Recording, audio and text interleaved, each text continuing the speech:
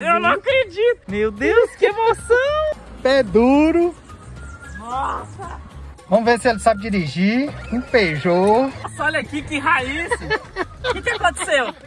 Ele apagou? Já começou apagando. Qual que é a emoção de dirigir um Peugeot? Cara, eu nem acredito, cara. Eu tô realizando...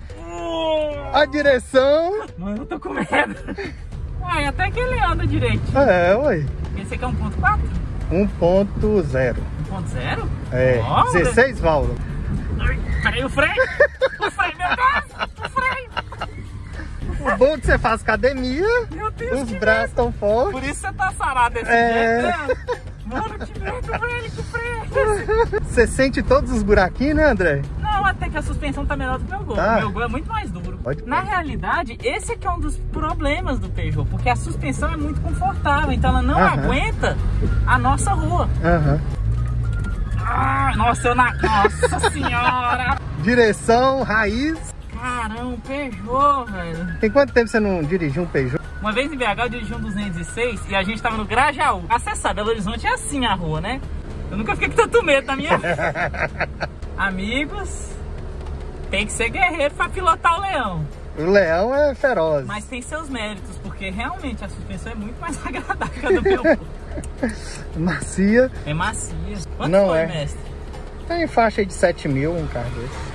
E a manutenção, como é que tá? Manutenção, a última vez eu gastei 100 reais. E aí você pegou e deu uma manutenção geral quando comprou? Foi. Ele é, um, ele é 2001, tá com 80 mil quilômetros rodados. Nossa, tá novo. É. De quilometragem ele tá muito novo. Meu Deus, peraí. Cuidado com o carro da frente. Você bater no HRV aí, tá lascado. Caramba. Ué, Durinho. tô surpreso. A única coisa que eu fiquei com um pouco de medo é, é o freio. Ó, gostei. Divertido. Peraí, como é que é a ré aqui? Aí.